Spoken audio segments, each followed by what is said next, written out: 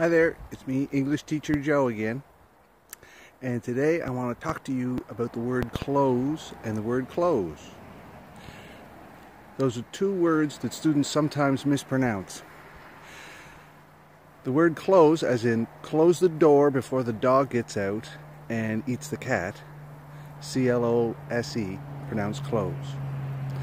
The other word, clothes, as in Joe's Joe wears really stupid clothes sometimes. C L O T H E S is pronounced the same way. Sometimes students think it should be clothes, but it's not. Clothes and clothes. Same, same. All right, that's it for now. Bye bye.